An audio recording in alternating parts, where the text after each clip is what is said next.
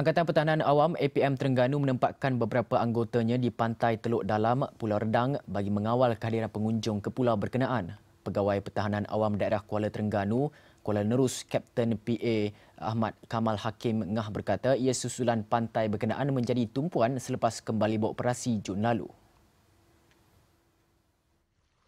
Jelasnya kawasan itu menjadi tumpuan pengunjung kerana ketika ini kawasan Taman Laut masih belum dibuka.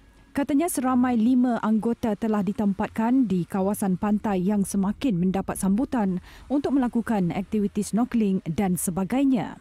Selain itu, pihaknya turut meminta pihak pengendali bot menitik beratkan aspek keselamatan pengunjung bagi mengelakkan insiden yang tidak diingini termasuk terkena bot ketika melakukan aktiviti di kawasan itu.